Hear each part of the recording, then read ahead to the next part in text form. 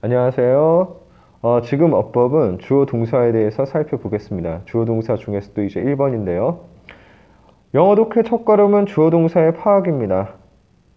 주어 동사 파악하면요. 많은 문장들을, 대부분의 문장들을 쉽게 파악할 수 있습니다. 그런데 여기서 말한 주어 동사는요. 그냥 주어 동사가 아니고 문장 전체의 주어 동사입니다. 이거를 명심하세요.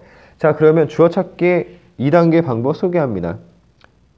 1번 은느니가로 해석되는 부분의 밑줄 쫙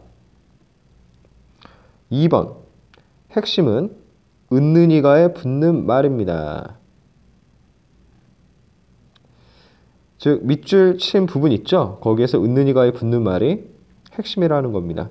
자 그리고 주어 동사의 일치는요. 이 핵심의 수와 인칭에 맞춘다는 것.